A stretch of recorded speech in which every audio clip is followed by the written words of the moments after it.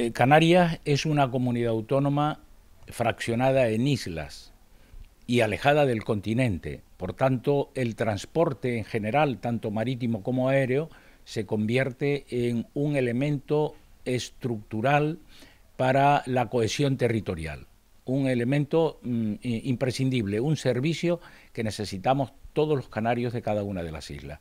Es verdad que hemos mejorado en transporte marítimo y en el transporte aéreo teníamos que resolver algo que era mm, poco entendible en el siglo XXI y eran los vuelos con Gran Canaria que solo se hacían tres meses al año. Este problema se resolvió afortunadamente, pero quedó pendiente el mejorar los horarios. El mejorar los horarios porque eh, los homeros necesitamos ir al aeropuerto Tenerife Norte, del mismo modo que al aeropuerto eh, de Gran Canaria, al aeropuerto de Gando. Mm, mm, y para eso era necesario mejorar los horarios.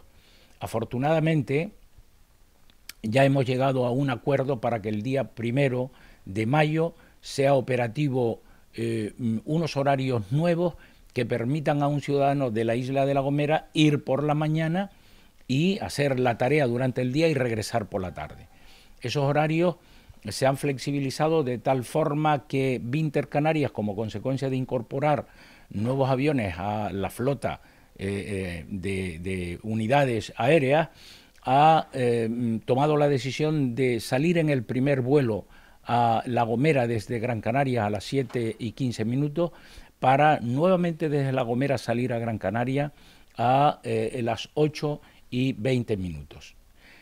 Esto nos va a permitir, lógicamente, que eh, no solo los que van a hacer gestiones a Gran Canaria por la mañana puedan hacerlas, eh, los profesores que un fin de semana tienen que venir vengan por la mañana y lleguen temprano. En fin, yo creo que es muy importante.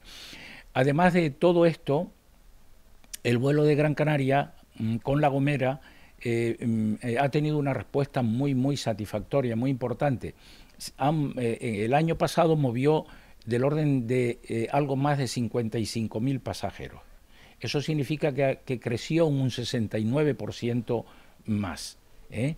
Y mm, junto con la movilidad con la isla de Tenerife han hecho posible que ya eh, el movimiento en el aeropuerto de La Gomera sea superior a los 100.000 pasajeros.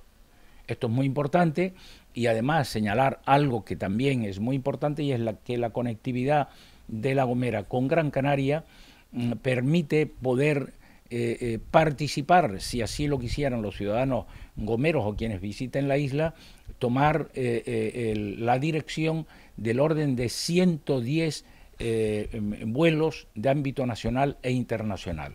Con lo cual quiere decir que estas mejoras van a suponer una mejor posición de La Gomera en el ámbito de las comunicaciones aéreas, mm, en este caso con Gran Canaria, y fíjense las dificultades que tienen las islas no capitalinas. Tenemos unos buenos, eh, unas buenas comunicaciones marítimas, pero sin embargo desde el punto de vista de la conectividad aérea solo la hacemos con dos islas. Vamos a mejorar los horarios y vamos a intentar mejorar la conectividad en el futuro próximo con otras islas del archipiélago, que sería lo deseable.